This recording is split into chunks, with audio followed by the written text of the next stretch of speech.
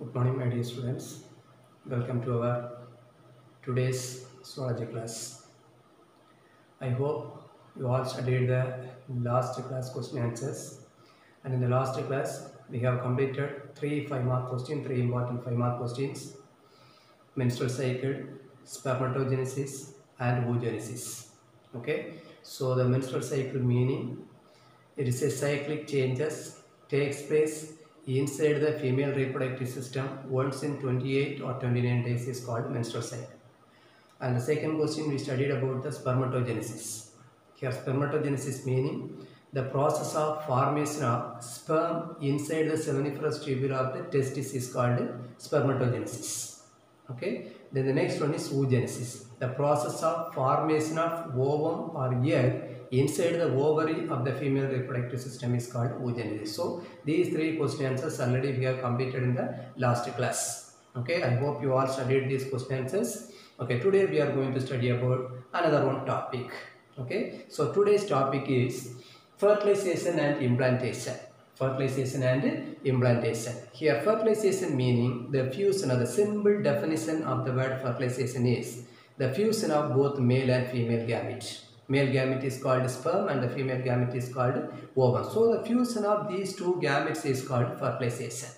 Okay. Then the previous classes already I explained you the male sex cell is called sperm. It is in haploid condition and the female sex cell is called ovum or egg, it is also in haploid condition. So, the fusion or joining of haploid egg cell and haploid sperm cell is called fertilization. So, at the end of the fertilization process, a diploid zygote is formed. So, at the end of the fertilization process, from two haploid sex cells, one diploid zygote is formed. So, this process is called fertilization. This process is called fertilization. Then next one implantation. Implantation meaning the process of fixing of fertilized egg or the zygote inside the wall of the uterus or in the wall of the uterus is called implantation. So the process of fixing the zygote in the wall of the uterus is called implantation. So first we are going to study about this fertilization and implantation. So already I told you the definition of the word fertilization. Now listen very carefully. See this is the male sex sperm. Sperm. This is the ovum or egg.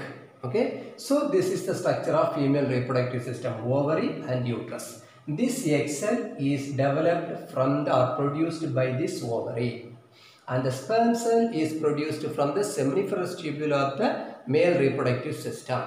So now the egg cell produced by this ovary and the sperm cell produced by the seminiferous tubule of the male reproductive system is joining to form a diploid zygote. Okay, so maximum these two cells, these egg cell and the sperm cells, these two cells are joining in the fallopian tube. Already in the last class we studied about the structure of fallopian tube also. Okay, so this region, the funnel shaped structure, this region is called infundibulum. This region is called ampulla, and this region is called isthmus. Okay, so infundibulum, infundibulum, ampulla, isthmus. Okay, so these are the three parts of the fallopian tube. Okay, this is the fallopian tube. So this egg cell and the sperm cell, both cells are joining in the junction of ampulla and isthmus. So just imagine this this region is called isthmus and this region is called ampulla region. So the egg cell is moving from the ovary and staying in this region. Okay, in the region means the junction of both ampulla and isthmus. At the same time, through the vagina, the male sex cells also entering in the in this region, the junction of this junction region. Understand? So in this junction only, this egg cell and the sperm cell, both cells are joining and the fertilization processes takes place. Understand? And one important condition for the successful fertilization process, both egg cells and the sperm cell, both, both cells are simultaneously, they should reach the, this region, this, uh, reach this region. Understand? So then only the both the egg cells and the sperm cell both can join togetherly and it, it, can, it, it can be converted into what? Zygote, diploid zygote. Understand my, dear students? So I hope you understand the meaning of the word fertilization. Understand? And maximum the fertilization processes takes place and the junction of both ampulla and isthmus of the fallopian tube. Both junction of ampulla and the isthmus region of the fallopian tube. Understand? Understand a few? Now, listen very carefully. See, this sperm cell should enter inside the egg cell. That means the nucleus of the sperm cell should enter inside the nucleus, sorry, inside the cytoplasm of the egg cell. Then only the this, these cells can be fertilized. These cells can be fertilized. So, to enter inside this cell, the sperm's acrosome playing a very important role because already in the last class previous classes we have studied the structure of this. Egg cell is covered with three membrane. The inner membrane is called Vitelline membrane, middle membrane is called zona pellucida and outer layer is called corona radiata. So, the egg cell of the human being is covered with three membrane, Vitelline membrane, zona pellucida and corona radiata. So, three layers are there okay then the outer surface of these layers this corona radiata many small follicle cells also present many small follicle cells also present so these follicle cells are jointed okay? Jointed or held together by a acid name of this acid is called hyaluronic acid. Name of this acid is called hyaluronic acid. So all the follicle cells present the outer side of the ovum or egg is held together or attached together by a acid is called hyaluronic acid. And in the previous class I told you that in the hip region, the, tip region of the sperm cell, this part is called acrosome. This acrosome region consists of one enzyme, hyaluronidase enzyme. Here the acid name is called hyaluronic acid and the enzyme present in the acrosome is called hyaluronidase enzyme. Okay, so when this sperm cell is reaching these follicle cells of the egg cell, immediately the hyaluronidase enzyme is released in the follicular cells. Okay, listen very carefully. When the sperm cell reaching the follicular cells of the ovum or egg, immediately the acrosome region of the sperm is surfacing the hyaluronidase enzyme. This enzyme disintegrate these follicle cells, disintegrate this follicle cell. So, the sperm cell can easily enter inside the egg and immediately the sperm cell releasing their nucleus inside the egg cell now the egg cell is in diploid condition 2n. Already haploid number is there. Here also haploid. Both haploid are joined together. Now the egg is fertilized here. The fertilized egg is in diploid condition. I hope you all understood all these points. So for the effective fertilization, the nucleus of the sperm cell should enter inside the cytoplasm of the egg cell. Okay? Then the egg cell is protected or covered by three membrane vitelline membrane zona pellucida and corona radiata then the outer surface some follicular cells also there follicle cells also there. And all these follicle cells are held together or attached together by one acid is called hyaluronic acid so this hyaluronic these follicle cells should be separated. Or disintegrated. Okay? So for this purpose the sperm's acrosome releasing one enzyme it is called hyaluronidase enzyme this enzyme disintegrate the follicle cells and finally the sperm is entering inside the egg cell now the nucleus is released inside the egg cell so immediately the egg cell is converted into a fertilized egg it has diploid number of chromosomes 2n chromosomes diploid means 46 chromosomes Understand? So I hope you all understand this point, understood this point. Understand? Then. So all these process of takes place in the junction of ampulla and isthmus. The junction of ampulla and isthmus. Now, just, so just imagine the fertilized eggs. Okay, this is a fertilized egg. This fertilized egg is involved in one process. Name of that process is called cleavage. That means by the process of cleavage, the single zygote or fertilized egg is divided into two cells. Now it is called plastome. Yes.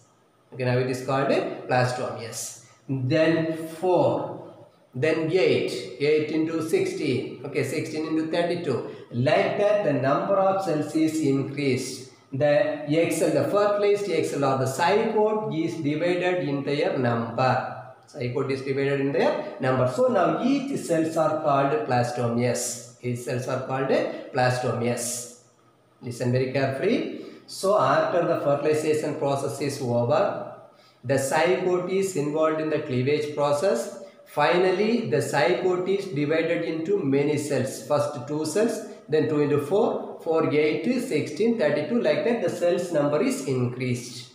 Okay. Now, these cells are called blastomeres. Now, these cells are called blastomeres. Understand? So, now this blastomeres, this stage is called Morula stage.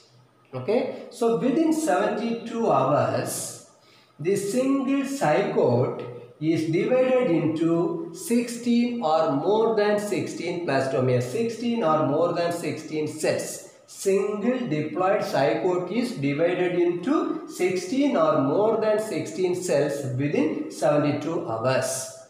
Within 72 hours. So, now this condition is called Morula. Sorry, now this stage is called Morula. Now this stage is called Morula. So listen very carefully. At the cleavage process is started when the both cells are joining togetherly. Okay. So immediately after the joining of both the egg cell and sperm cell, immediately the zygote is formed. The zygote is divided into 2 cells, then 4 cells, then 8 to 16. Like that the cells number is increased. Okay. So within 72 hours, within 72 hours, 16 or more than 16 cells are formed in the zygote. Now this stage is called morula. Now this stage is called morula. Okay. So now this morula stage is moving from this fallopian tube and finally it is fixed in the wall of the uterus. This process is called implantation. This process is called implantation. So fertilization is takes place in the fallopian tube. After the fallopian tube, the fertilized egg, that means the morula stage structure is moving from the fallopian tube to the uterus. And it is fixing or it is attached to the wall of the uterus. This process is called implantation. This process is called implantation. Understand? Understand my dear students? So now we completed how the fertilization processes takes place, where this fertilization processes takes place and what happening after the fertilization process. Okay, finally what happened now? The fertilized ovum, sorry, fertilized, fertilized ovum is reaching or fixed in the wall of the uterus. Understand? Understand few? Then, when it is reached this uterus, is fixed in the uterus wall of the uterus region, immediately it is converted into another or is changed into another word structure. Another word structure. Name of that structure is called blastocyst.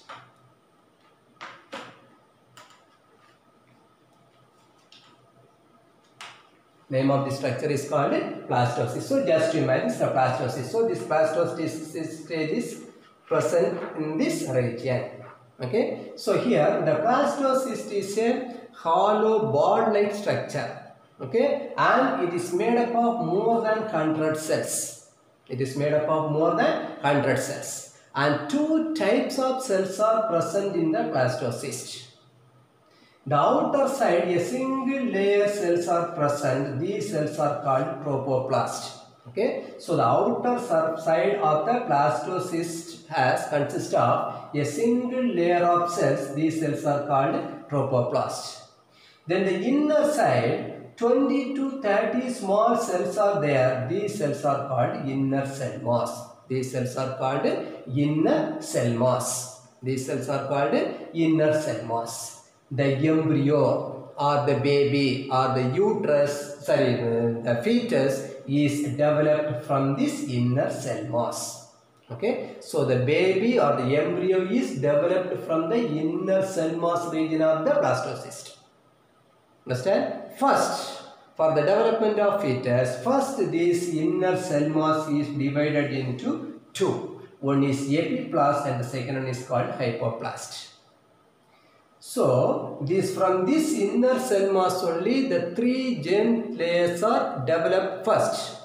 Germ layers, the standard you have studied, ectoderm, endoderm and mesoderm. These three are the germ layers. So, from the inner cell mass, first the three germ layers are developed. Then after that, from the germ layers, all the organs are developed. So, first the inner cell mass is divided into epiblast and hypoblast.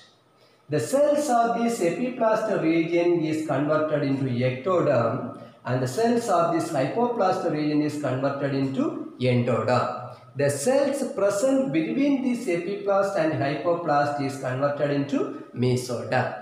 Listen very carefully. The blastocyst consists of more than 100 cells and there are two types of cells are present in the blastocyst. The outer layer is called trophoblast and it's a single layer cell and the inner side 20 to 30 small cells are there they are called inner cell mass. From this inner cell mass only the three germ layers are developing and after few days from the three germ layers all the organs are developing. Okay. So first the inner cell mass is divided into epiblast and hypoblast. Epiblast cells are converted into epiblast region is converted into ectoderm and hypoblast region is converted into endoderm. Then the cells present between these two, these epiblast and hypoblast is converted into mesoderm. Understand? Understand all of you my dear students? So now we completed one important section. Okay. So this blastocyst structure of blastocyst is a very important three mark question. Okay.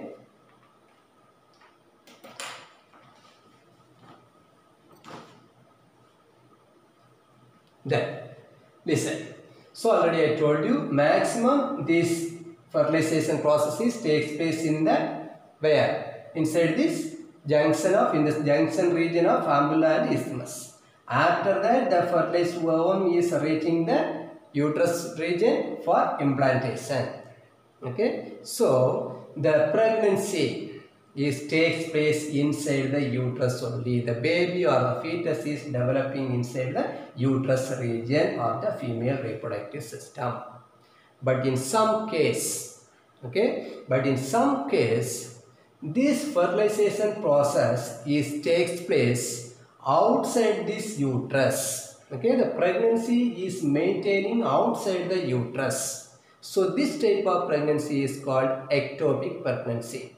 This type of pregnancy is called ectopic pregnancy.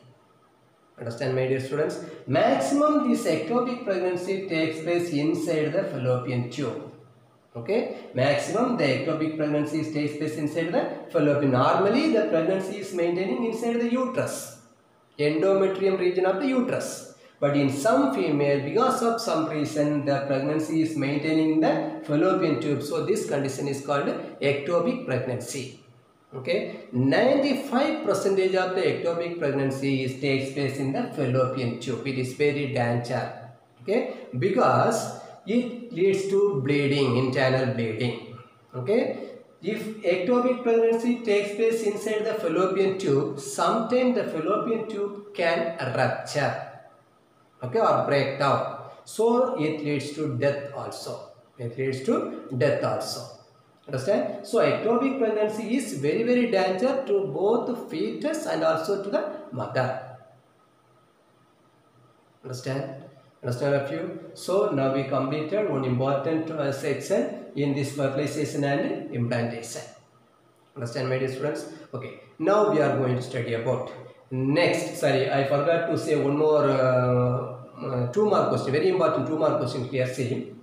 Already I told you the sperm is entering inside the egg and the fertilization process takes place. Isn't it? See, once the once a sperm is entered inside this inside this egg, immediately the cortical granules present inside the egg developing a new membrane developing a new membrane. This membrane is called fertilization membrane. This membrane is called fertilization membrane. The use of this fertilization membrane is this membrane only prevent the entry of other sperms inside.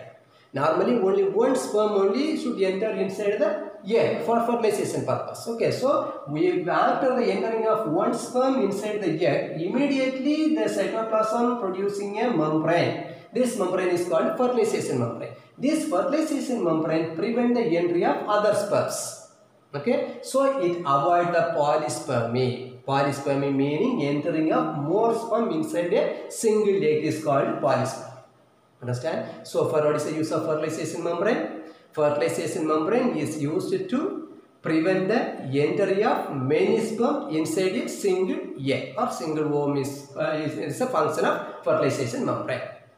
Understand all of you? Understand? Then, next we are going to study about the extra embryonic membranes. Okay, this is a very important two mark question.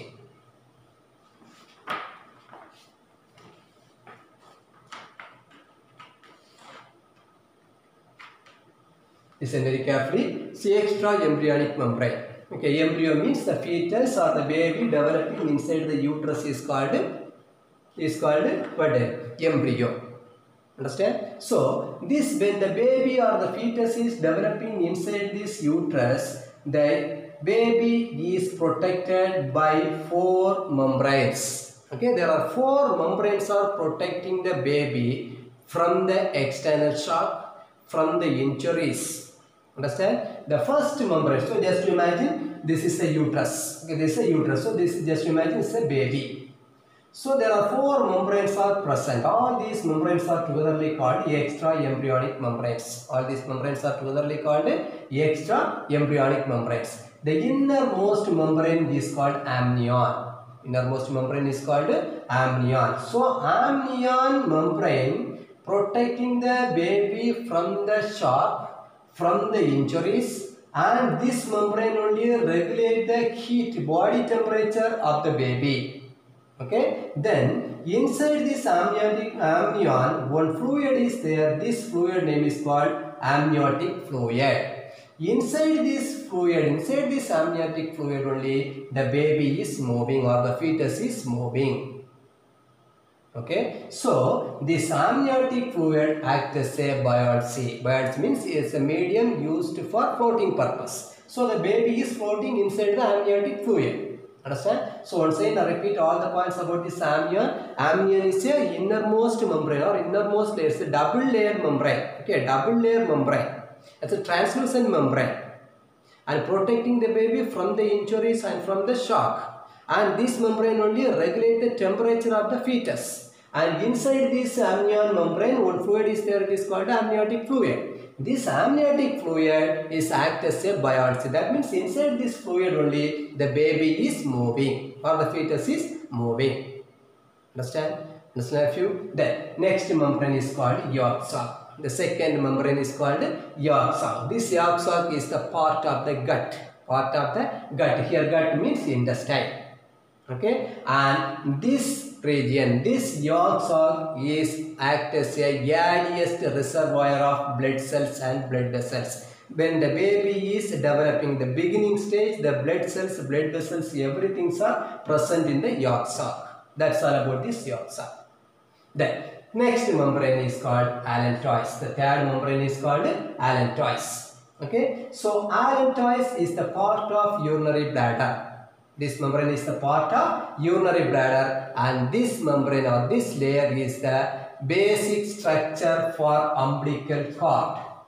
Okay, basic structure for umbilical cord. Here umbilical cord means it's a very small tube-like structure connecting the fetus with the placenta. This long tube-like structure is called placenta. At the end of this region is called what region? Umbilical cord region. Okay, so this umbilical cord region is developed from the allantois layer and the last layer is called chorion Okay, it is outermost layer. Chorion is the outermost layer. This layer only protecting all the other three layers because this amnion, yolk and these three layers are present inside the chorion layer.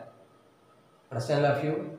Understand? Then one more structure is there. This called chorionic villi. That means the anterior region of this layer of these layers, a small finger-like projections are there. They are called chorionic villi. They are called chorionic villi. This chorionic villi consists of more amount of fetus blood, more amount of fetus blood. And this chorionic villi is also covered with a long tube-like structure. It is called cynosus. The cynosus consists of mother's blood. Understand? So, chorionic villi is a small finger-like projection. It consists of the blood of the fetus. And near this chorionic villi, one tube-like structure, cynosus is also there. The cynosus is filled with mother's blood. Understand, my dear students? So, now we completed one important two mark question. Sometimes the structure may be asked for, sorry, this diagram may be asked for three mark question. Okay. So, the two mark question is what are the uh, four membranes, four extra embryonic membranes. Like that only they will ask the question. What are the four extra embryonic membrane? The first membrane is called amnion. Second one is called sac. Third one is called allantois. And the fourth one is called chorion. Okay, so inside the amnion membrane only the fluid is present. The fluid name is called amniotic fluid. This amniotic fluid performing more, doing many functions. Okay, protecting the baby from the injuries. Okay, from the shock. It regulate the temperature of the um, fetus. Okay, like that many functions. Understand? Understand few. So now we completed one important two mark question. Okay, the question is what are the four extra embryonic membrane? Understand? Then now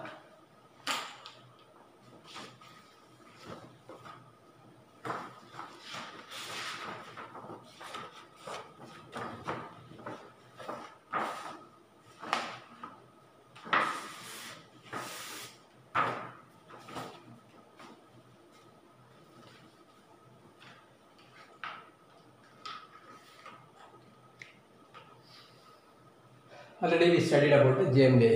There are three germ. Ectoderm, endoderm and mesoderm. Okay, so these three are the important germ. Only three germ layers only. Okay, in all the vertebrate organisms, particularly in human human beings, three germ is only there. One is ectoderm, mesoderm and endoderm. Okay, so listen. What are the organs developed from these three germ? Now we are going to study about the, what are the organs developed from which uh, layers. Okay, so the first one is ectoderm. Central nervous system, peripheral nervous system, epidermis. Epidermis means the outer surface layer of the skin is called epidermis. Okay, okay. Central nervous system, peripheral nervous system, epidermis, mammary gland, milk producing gland. So all these organs are evolved from the ectoderm, first germ layer. Okay, it's a very important three mark question. Next, mesoderm. The middle germ layer is called mesoderm. This mesoderm develop cartilages. Cartilages means soft bones, bones present in the ear, bones present in the tip of the nose. So these bones are example for the cartilage. So cartilage bones, ordinary bones, muscles, kidney, ureter, gonads. Gonads means sex organs. Okay, testis and ovary. Male gonad is called testis and the female gonad is called ovary. So these organs are developed from the second or the middle germ layer, mesoderm. And the next germ layer is called endoderm. Okay, from the endoderm, some cells and organs are developed. See, first one, epithelium of the digestive system, respiratory system. Okay our digestive system then respiratory system both systems of different types of epithelial tissue. Okay so all these epithelial tissues are developed from the endoderm. Then liver pancreas thyroid parathyroid. Here pancreas thyroid parathyroid. These are the endocrine glands. Okay so all these endocrine glands and the epithelial tissues of the digestive system respiratory system everything are developed from the endoderm. Understand my dear students? So now we completed what are the organs developed from the three germ layers. This is very important three mark question and one mark question also. Okay, sometimes some one mark question may be also asked from this topic. Instead of you Then.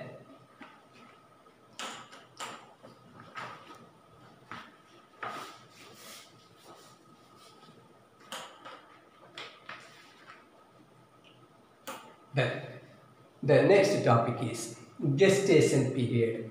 Gestation period means pregnancy period is otherwise called gestation period.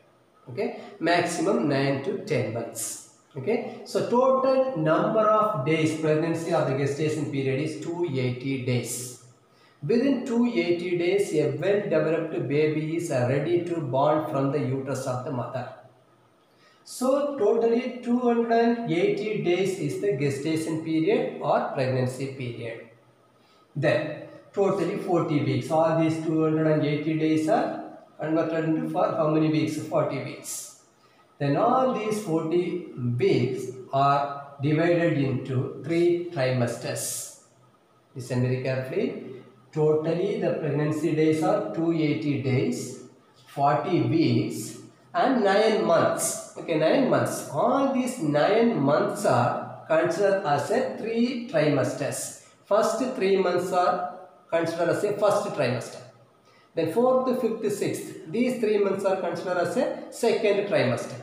Then 7th, 8th, 9th. These 3 months are considered as a third trimesters okay? Okay. Listen very carefully. The first trimester what are the organs are developing inside the fetus body? Then the second month third sorry second trimester third trimester. Okay. First trimester. First trimester means first month second month and third month. So during this first trimester heart is developed. Limbs both hands and legs. Lungs liver genital organ reproductive organ. So yeah. So all these organs are developed in the body of the fetus during the first trimester. That means first three months. Then the next three months, that means the second trimester, face is well developed. Then eyelid, eyelashes, hair, muscles, everything are developed during the second trimester.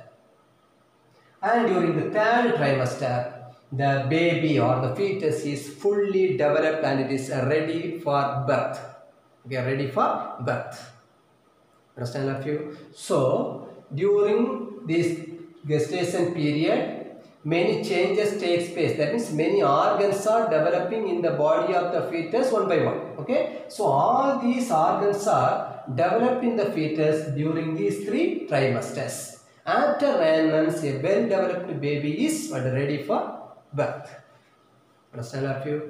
Understand? So, I hope you all understand this gestation period. Here also many one more questions here. Suppose the liver is formed in which gestation? Okay, sorry, which uh, trimester? Or the um, uh, lungs is formed in which trimester? Like that, some one more question also may be asked. Understand, students? Understand few? Then, next, hormones involved in the pregnancy. See, there are many hormones. The last topic, now we can complete. See, there are many hormones are involved in this pregnancy, in the maintaining of pregnancy in the female body. The first hormone is H. Human chorionic gonadotropin. Okay. Then human chorionic somatotropin. Understand? Then human placental lactogen. Estrogen, progesterone, progesterone, then cortisol,